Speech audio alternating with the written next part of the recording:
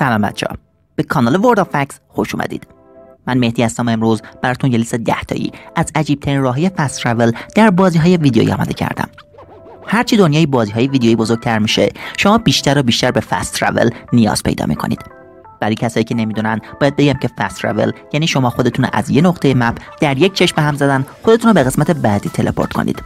بعضی از بازی ها سعی می‌کنن راه های معمولی رو برای fast travel در نظر بگیرن. مثل سوار مترو شدن، تاکسی گرفتن و یا اینکه با اسب سفر کردن. اما بعضی وقتا ما روش های عجیبی رو می‌بینیم که شاخ در میاریم.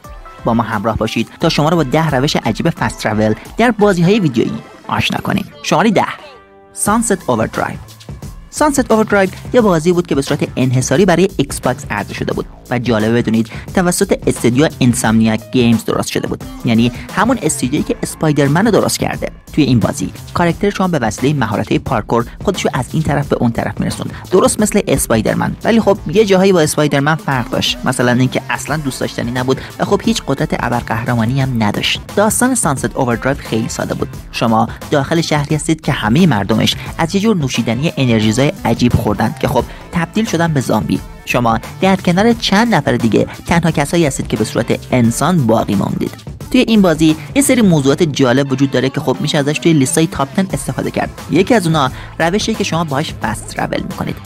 داخل بازی قسمت fast travel رو اول آزاد می‌کنید و بعد می‌تونید چطوری خودتون می‌تونید از یه قسمت به قسمت دیگه برسونید. کارکتر شما نوشیدنی الکلی می‌خوره و سیاه‌مست میشه. بعد صفحه تیره میشه و شما توی منطقه مورد نظرتون از یه توالت عمومی میایید بیرون و اینجوری fast travel می‌کنید که انصافا خیلی جالبه. بیاید ببینیم که آیا اسپایدرمن هم از این روش استفاده کرده بود یا نه. نه اون از روش مترو استفاده کرده بودن شماره 9 Elder Scrolls 3 Morrowind. اگر شما Elder Scrolls 5 یا 4 یعنی Skyrim و Oblivion رو بازی کرده باشید احتمالا از روش fast travel اونا آگاهی دارید که خب چندان خفن نیستن. شما map خودتون رو باز می‌کنید و بعد قسمت هایی که از قبل discover کردید روشون کلیک می‌کنید و به همین سادگی fast travel میشید. اما توی Elder Scroll 3 Morrowind همچین چیزی نبود. توی اون بازی از یک روش خیلی باحال برای fast travel کردن استفاده شده بود. اونجا شما موجوداتی به اسم Silt Strider داشتید. یعنی این حشرات گنده که توسط Dark Elf ها اهلی شده بودن و از اونها برای رفت آمد استفاده می‌شد. خیلی جالبه که شما سوار همچین موجودات گنده بشید و بعد به قسمت های مورد نظر خودتون سفر کنید. به همین دلیله که میگم از نظر من روش fast travel توی Elder Scrolls Morrowind به شدت از Elder Scroll 4 و 5 بهتر بود. شماره 8 Metal Gear 5 Phantom Pain به گفته خود هیدئو کوجیما اون هفت سال روی ساخت بازی Metal Gear Solid 5 وقت گذاشت و خب تونست یک دنیا با جزئیات بی‌نظیر و سوپر واقعی درست کنه. جایی که شما می‌تونستید boss های بازی رو با انداختن جعبه روی سرشون بکشید. نکته جالبی که در مورد fast travel Metal Gear Solid 5 Phantom Pain وجود داره اینه که بازی اصلا در موردش به شما توضیح نمیده و به همین دلیل فکر می‌کنم خیلی از شما نباید چیزی در موردش بدونید. داخل بازی یه روش فست وجود داره که خب ما نمی‌خوایم در مورد اون صحبت کنیم. روشی که شما زنگ می‌زنید به هلیکوپترتون و بعد اون میاد دنبال شما توی قسمت های خاصی از مپ می‌تونه شما رو ببره. اما نه. ما داریم در مورد سفر کردن با جب و پست صحبت می‌کنیم. اگر از جمله طرفدارای متال سالید باشید می‌دونید که توی این بازی یک روش خیلی واقعی وجود داره که شما می‌تونید به سربازای دشمن نزدیک بشید و اونم اینه که برید توی جعبه و بعد بخزید سمتشون. حالا ما با این قضیه کاری نداریم. داخل بازی یه جایی وجود داره که پلتفرم نارنجی رنگ هستن. شما اگر اونا رو باز کنید بعد می‌تونید با استفاده از پست شدن از این طرف به اون طرف مپ اونم با سرعت خیلی زیادی فست ترول کنید. اما می‌دونید جالبش چیه؟ که شما می‌تونید از این روش تیپاکس شدن حتی توی مادرشیپ هم استفاده کنید که این نشون میده دیگه واقعا شما گشادید. شماره هفت. Star Wars Jedi Fallen Order بالاخره EA تونست یک بازی single player به درد بخور در مورد Star Wars عرضه کنه. بازی به اسم Jedi Fallen Order که پارسال عرضه شد و انصافا خود من به شخصه خیلی باحال کردم. درسته که خیلی از element های بازی از روی بازی مثل Dark Souls و Uncharted کپی شده بودن. اما با این حال Jedi Fallen Order تونست تجربه خوبی برای من رقم بزنه. توی دنیای جنگ ستارگان افرادی هستن که به خودشون میگن Jedi که بسیار قدرتمندن. اونا می‌تونن با استفاده از نیرو شما رو پرت کنن روی هوا دو بار بپرن و با استفاده از lightsaber دشمنای خودشون رو نصف کنن. اما با این حال خیلی عجیبه که نمی‌تونن تلپورت کنن. به همین دلیل که توی استار وارز جدای فالن اوردر یه روش فست خیلی باحال وجود داره. توی قسمتی از بازی جایی که شما باید با نهمین خواهر مبارزه کنید. مجبورید از بلندترین درخت ووکی ها بالا برید که انصافا یکی از مزخرفترین مراحل پلتفرمی این بازی به شمار میره. در طول راه شما یک جور پرنده عجیب و غریب رو می‌بینید که زخمی شده. کاری که می‌کنید اینه که میرید بهش کمک می‌کنید و اینطوری میشه که اون پرنده باهاتون دوست میشه و بهتون سواری میده. اون شما رو به قسمتی می‌بره که می‌تونید با نهمین خواهر مبارزه کنید و بعد شکستش بدید. خوبیش می‌دونید چیه؟ اینکه دوباره اون پرنده ظاهر میشه و شما رو میاره پایین و لازم نیست دیگه اون پلتفرم احمقانه رو از بالا به پایین طی کنید. شماره 6 Legend of Zelda Wind Waker توی این نسخه از Legend of Zelda لینک داره قدرتی که می‌تونه بادها رو کنترل کنه. به همین دلیل روشی که شما با استفاده از اون می‌تونید fast travel کنید یه جورایی به باد مربوطه. همونطور که می‌دونید داخل این بازی قسمت زیادی وجود داره که شما باید روی دریا به سفر خودتون ادامه بدید. همونطور که گفتم شما توانایی اینو دارید که باد کنترل کنید. به همین دلیل با استفاده از باد می‌تونید سفر خودتون رو سریعتر کنید چرا که باد به سمت بادبانهای خودتون به وزش در بیارید. اما با این حال هم سفرها می‌تونه خیلی طول بکشه. پس بهتون توصیه می‌کنم وقتی به این گرد بادهایی که روی دریا هستن رسیدید کمان خودتون رو در بیارید و بعد اگر دقت کنید یک قورباغه خیلی زشتی بالای اون گرد بادها وجود داره. شما یه تیر به اون بزنید و اینجوری اون قورباغه میفته پایین. قورباغه از اینکه یه نفر تونسته بهش تیر بزنه تعجب می‌کنه و برای همین احترام زیادی برای شما قائله. اون میاد یک شعری رو بهتون یاد میده که با استفاده از اون می‌تونید داخل این گردبادها برید و توی دنیای وین ویکر فست ترول کنید. شماره 5 گالاوار اگه شما نسخه قبلی گاداوار رو بازی کرده باشید احتمالا می‌دونید که توی اون روش های زیادی برای فست ترول کردن وجود نداشت. اما توی گاداوار سال 2018 که نسخه ریبوت این فرانچایز به شما میره اوضاع یکم فرق می‌کنه. شما داخل این بازی یک پدر هستید و به همین دلیل باید خیلی حواستون به رفتار خودتون باشه چرا که ممکنه روی رفتار پسرتون تاثیر بذاره.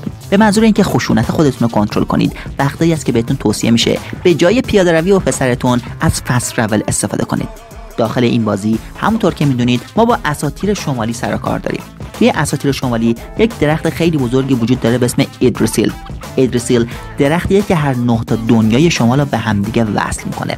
به همین دلیل شما می‌تونید با استفاده از سفر کردن به ریشه های این درخت خودتون رو به دنیاهای مختلف برسونید. البته باید بهتون بگم که این fast travel کردن آنی نیست و به همین دلیل شما مجبورید به دیالوگ های کریتوس با پسرش گوش بدید که خوشبختانه توی اونا دیگه زیاد از boy استفاده نمی‌کنه. منظورم اینه که بیشتر اوقات استفاده نمی‌کنه. شماره 4 Secret of Mana Secret of Mana یکی از بازیهایی که من به شخصه توی بچگی خیلی با آن خاطره داشتم. این بازی بی‌نظیر برای Super Nintendo عرضه شد و خب نسبت به سالی که آمده بود واقعا خوب بود.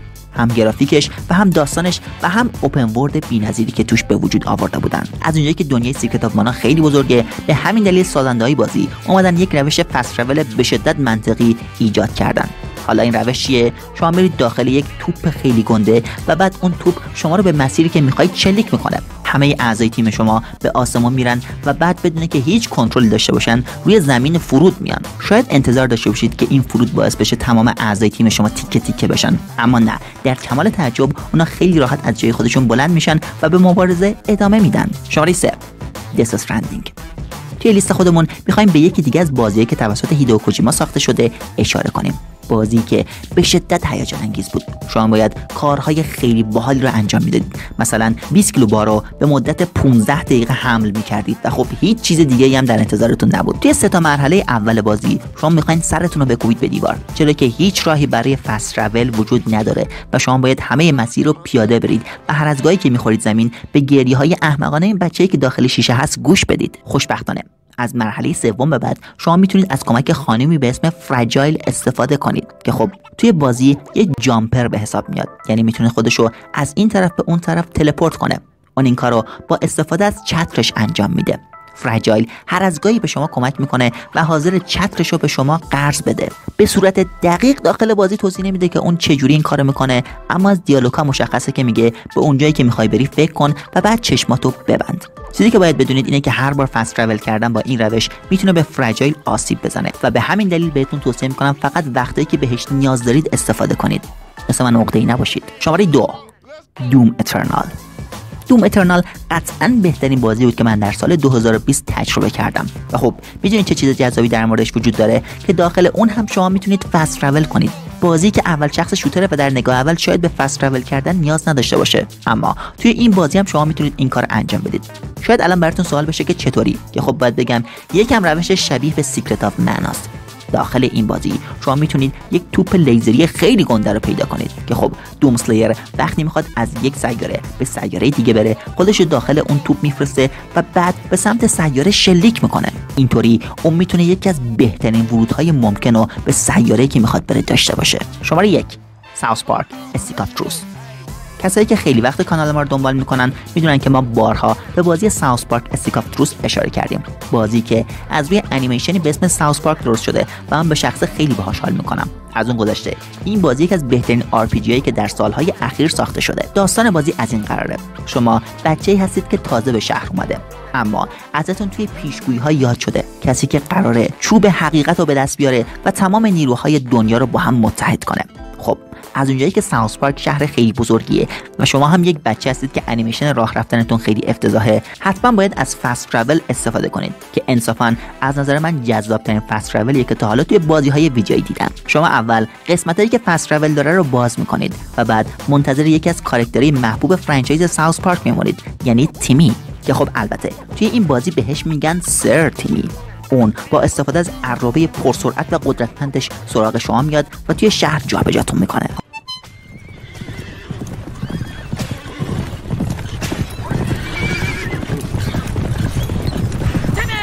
حالا شاید قدرتمند با شکوه نباشه اما بالاخره جابجاتون که می‌کنه. اما توی نسخه دوم ساوس پارک یعنی The Fractured Butthole هم شما یک فست خیلی باحال دارید. جایی که یک نفر با قدرت superhero ی Flash شما رو توی شهر جابجا می‌کنه. قطعا ترجیح می‌دادم به جای این قدرت ابرقهرمانی سرعت فلش رو داشتن.